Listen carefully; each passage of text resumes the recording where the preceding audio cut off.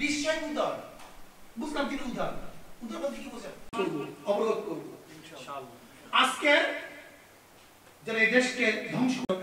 স্বাধীনতা পালন করে, এই দিবস তারা তারকার পালন করে, এটা তাদের বক্তব্য। জবাই নিয়ে চক্রান্ত করতেছে। আজকে কি দেখছি? ভোট কোনো ঘাট, কোনো প্রতিষ্ঠান, কোনো জায়গা নাম রাখা যাবে না। অশ্বিনা কুমার দত্ত সে মারা গেছে কোথায়? কেন? তার দেশ তো এটা চলে গেছে। কেন গেল? কারণটা? যাবে কেন? অশ্বিনা কুমার দত্ত মারা গেছে ক্যালকাটায়। তেইশ সনে।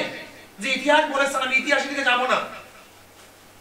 যদি তেইশ সনে সে ভারতের বুকে মারা যায়, সে বাংলাদেশের বুকে মারা না যায়, তাহলে এ দেশ থেকে যারা চলে গেছে তারা এদেশের বন্ধুরা শত্রু। আমাকে বলেন? তা শত্রুর নামে এ দেশে কোন প্রতিষ্ঠান হবে এটা এ দেশের মানুষ মেনে নিবে না। বলতে পারেন তার জমি। হ্যাঁ জমি পরিবর্তন হয়। অশ্বিনা কুমার দত্তের নামে যে জমি, দেখেন তো দুইশো বছর আগে জমি কার্ড ছিল। তার পাঁচশো বছর আগে জমি কার্ড ছিল। তার এক হাজার বছর আগে জমি কার্ড ছিল। আমাকে দেখান। শোনেন, আমরা ইতিহাস অনেকেই জানি না, সমস্যা এখানে। আমাদের মুসলমানদের সবচেয়ে বড় সমস্যা হলো, ইতিহাস সম্পর্কে আমরা ওয়াকিবহাল নই।